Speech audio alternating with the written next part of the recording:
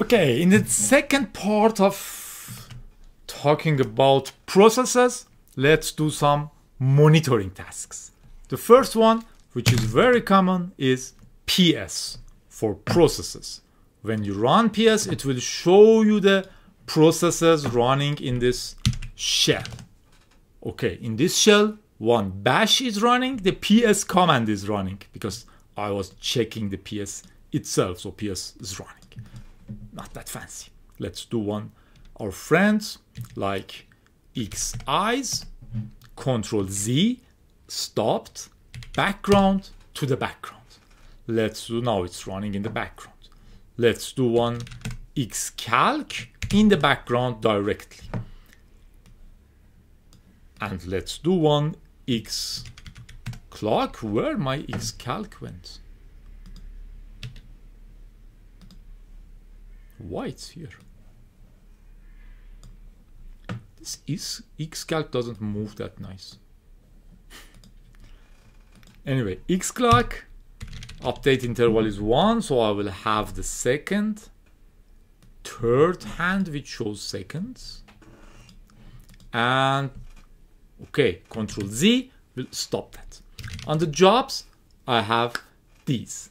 On the PS, I have these. These are running in this shell, bash itself, ps command I just ran, and three different programs. PID, process ID is this, is this, is this, this, this, this.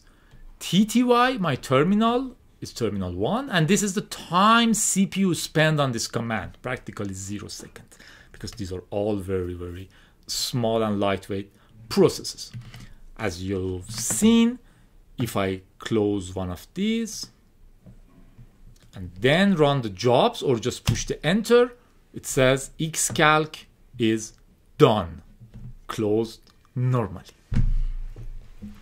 If I terminated or killed them, I would have terminated here, as you saw. And, but on PS, I only has these processes. For sure, my machine has more processes running that I have Linux. You can do PS-E and ask it to show extended processes or all the processes on the machine, not only this shell. So I have lots of processes running. I can try with wc-l and say, okay, at the moment I have 169 processes running to have this Linux. Another thing which is very useful is F, which shows the full format. I will just grab the head so we will have the top part. UID is the user ID running this process. PID is process ID parent process ID who started this process. C is time TTY terminal start time. Time is important how much CPU spent on this process can see only one second for init. This is init, so process ID is one, run directly by the kernel itself. I can do a tail to see the last ones. Tail itself knows time spent. This is the time which this process started. This is the time equivalent to my this time. It's on the clock. jadi ran it. This is the process ID, parent process ID. You can see that tail, PSEF, Xclock, Xeyes, they all have the same parent process ID because that's the process ID of this shell I'm giving commands in. But these has different numbers in them. And it's very common. If I want to, for example, kill this Xclock, I can try to find this Xclock's process ID. PSEF, show me the line format. grep, show me only the line width x clock in it. says, oh, you have two different x clocks in your commands. One is grep x clock, which is the one I just ran. The other one is x clock update one with this process ID. So I can try to kill it. Let's try. For sure, when I'm jadi, I can only kill my own processes. So kill 2492.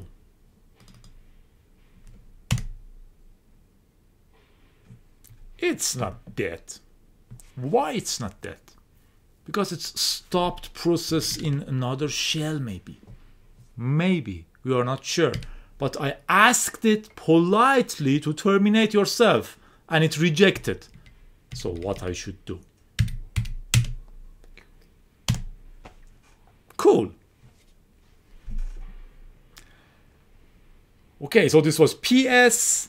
Some people love PSEF. That's what I use. Some this was the PS only showing for this specific uh, shell and you can see that it tells me that this is killed. This is not for PS, this is for pushing enter here, like terminated. PSEF is what I use and like. Some people prefer PS AUX combination, which is kind of similar, not that different. This also will show you some more information like CPU, memory, percentage of the CPU usage at this moment, memory usage at this moment. So it might be useful to see how much uh, memory they are using, for example, or CPU they are using. And as you saw, in many cases we do PSEF, grep it with the process name. So we'll just have the process name. We also have pgrep, which does this. For example, I can say psef grep x, show me whatever has x in its names. For example, I wanted to find this. Show me whatever has i's in it.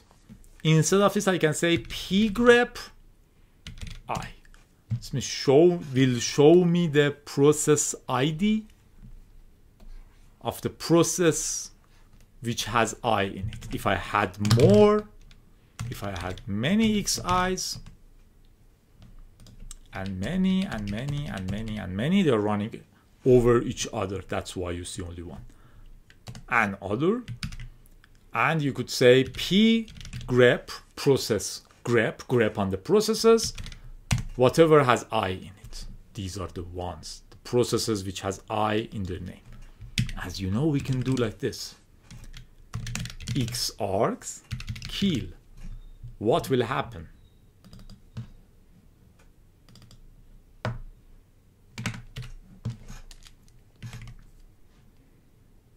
In this case, sorry, pgrep i will show this. So if I do pgrep i pipe it to xargs kill, we'll put all of these here and we'll run this part. This is what X xargs do, you know, from the previous lesson.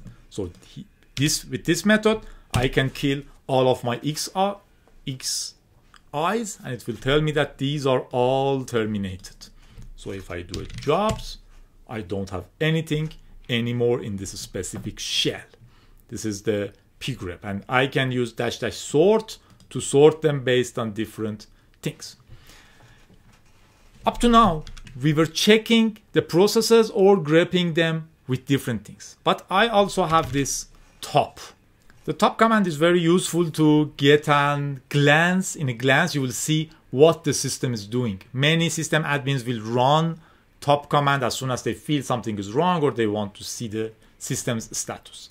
It has a list of the processes running on the system, their CPU usage, it's sorted by CPU usage, their memory usage, how much memory Xorg is running at the moment. As you can see, it's updated all the time. PID, process ID, which user is running it, how nice is it, we will see later in other chapters. And percentage of the CPU, percentage of the memory, time, how much time CPU used to run this program and the command itself. Also, it shows you the current time and the system uptime. My system was up for 3 hours and 32 minutes. Some people start talking about their large uptimes. I have a server with 4 years, 2 months, blah blah of uptime. It is cool. You have not restarted your server for this long. But nowadays, if you're updating a server, its kernel is changed, you have to restart it. So it's not super cool, but still it's fun five users we have on this system and this is our system's load average.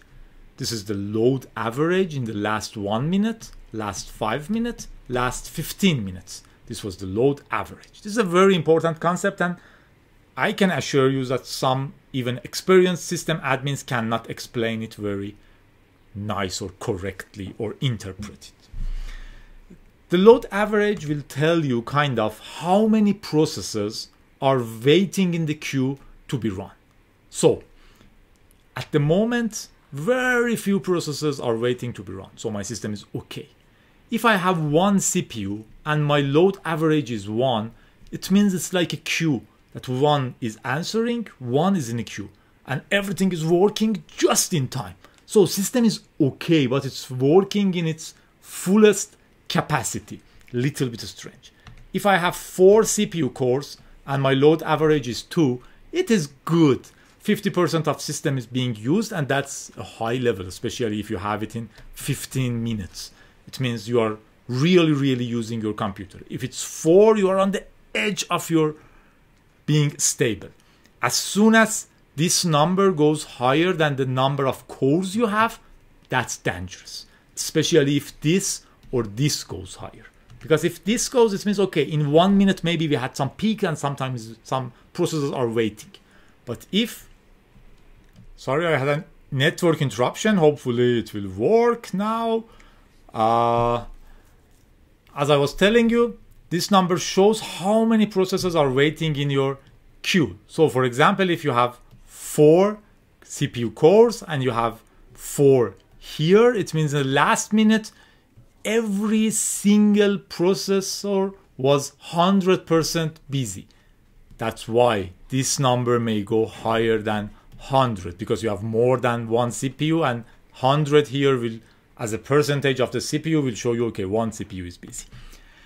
The problem is when this number or this number goes higher than the number of cores you have. It means some of the processors are waiting and not getting response in time. So even this may go higher and higher and higher. If this reaches higher than the number of processes you have, more and more things will be stacked. I have seen computers with, for example, 60 here, which may have 42 CPUs, and it will become doubled in a few seconds. And suddenly it's not even possible to issue new commands because all of them are processes. You cannot SSH. It's very problematic. Anyway, this is one of the best indicators of the status of your computer. This is the top. Control C will break it or Q will correctly break it.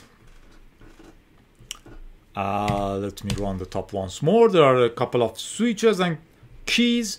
If you push question mark, you will get a shortcut on the different keys. One important one, I will I press the Q, now I'm out of the help. One important one is capital M. It will sort the data based on the memory. So if you have a memory issue, you can see who is using your memory. Also, you have the number of the tasks here, same as PSEF grep, uh, sorry, pipe with WC-L. Also, you have the memory status here. This is your memory. I have this much memory. This is six gigabytes and this much is free. Also on my swap, I have one gigabyte, gigabyte of swap, which is not used at all. This is good. If you are using your swap, that's very, very dangerous. You should not use your swap it's a last resort for the CPU. And in normal case, if you understand what you are doing, that's good. This is top, M, C, show full commands with C. With K, you can directly kill something. If I'm in the top and I push K, says, okay, do you want me to kill whom? Is 695 okay? This is the first one. Always the first one is the suggestion. If you kill it, the graphical mode will go. If I can kill it, I cannot because this is run by root, so I don't have access to kill it. Anyway, I will do a control, I will do a Q, control C to break it. So this was top, we have two more, free and uptime. Since you know the top, free is easy. Free will show you the status of the memory. I have this much memory this much is used. I have this much swap, this much is used. Reading this is a little bit difficult. So we have different switches for this. For example, I can say free dash G, talk in gigabytes. It says, okay, you have five, zero is used. You have uh, swap is zero because if I'm talking in gigabytes, this is the best number I can show you. So we do with dash h, which is human readable. This is a very good switch. So it will convert all the numbers to the human readable equivalents. Will tell you that you have find 5.8 gigabytes, 411 megabytes is used. You have 900 megabytes of swap, 0 byte is used. So dash H is always a good choice. This is free and we have the uptime.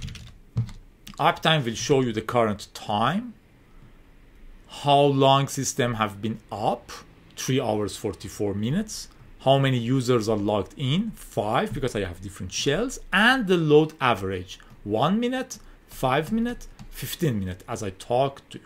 This should be lower than the number of cores you have to for the system to work correctly. There are a couple of switches there for uptime. For example, you can say, I think uptime pretty. If you want to show it somewhere on a script or something. And let me talk about the watch and then we go to the next uh, part.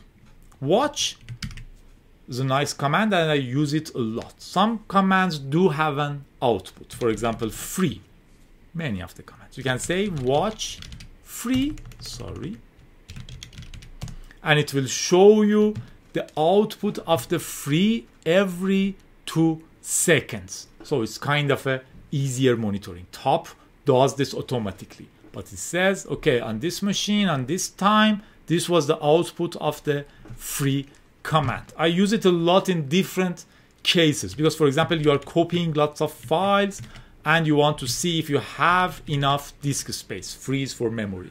df is for disk space. df human readable dash h.